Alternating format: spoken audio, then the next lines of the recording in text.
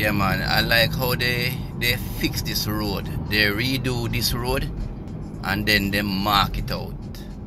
That's very good. I like when they fix the road and when they fix the road, me like when they mark it out immediately. Because when you mark out a road, you know, when you mark the road, it makes it easier for drivers. Especially especially especially young drivers, it makes it easier for them when the road mark out. So I kinda like how they fix the road eh, and they mark it out.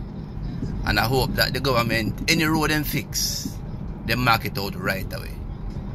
Yeah man, this one mark out very very nice. Very very nice. All the way down, broken white lines you can overtake if the way is clear. You understand?